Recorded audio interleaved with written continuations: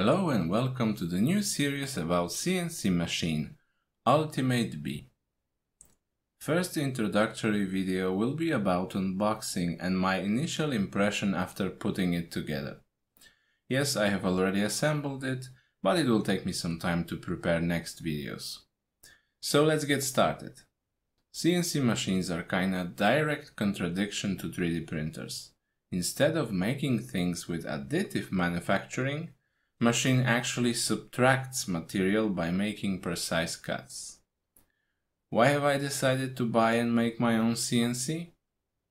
There are some things that 3D printers simply can't do or it's really expensive. Good example is making really tough, rigid and very high temperature resistant pieces, such as heat blocks or heat sinks.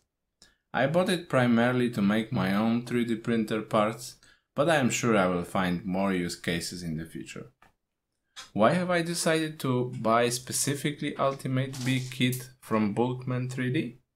They have a very good price to quality ratio and I'm really not a big fan of sourcing gazillion of small parts myself. I have also wa wanted to have something small and light to the point you can call it a portable machine. I am also not sponsored by them. This kit comes with linear rails, ball screws and other parts available in their configurator. You can for example choose closed loop stepper motors or even servos. There is a possibility to buy just mechanical kit, which is the option I have chosen simply because I have electronics and spindle from my previous 10 year old CNC machine. My kit shipped within 2 weeks and from the first glance there wasn't anything missing. However, when I was close to the finish line, I realized that 40-40 extrusion was unfortunately too long. I did notify Bulkman about this and I have yet to see what resolution will be. We'll let you know in the next videos. Like I said previously, I am impatient, so I've decided to simply cut it to size. It wasn't an easy process as I wanted to be as precise as possible, so first I made a rough cut and then sanded it down a couple of times, each time shaving off a couple of microns until it was a tight fit. When it comes to hardware, there was nothing missing. In fact, I still have plenty of screws left and I am sure I did tighten everything that was listed in their guide. There were a couple of things I did differently and quite honestly, if you are watching this video because you want to assemble your own Ultimate Bee, let me save you some time. Their written build guide is amazing. Has image on every little step and is probably more time efficient to use than to watch this series except few changes that I have personally made.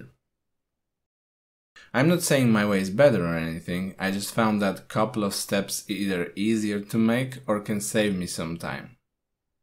Very first difference was putting all linear rails to the C-beams, simply because I did not want them to accidentally knock them over. Now that I think about it, I have also could put the carriages onto the rails as well. Another difference is I opted out to not grease each axis after assembly as I knew I was going to either accidentally or purposely touch the rails, so greasing will be done when the entire machine will be assembled. Other than that, original build guide is a top notch. Very easy to follow, but it's time consuming.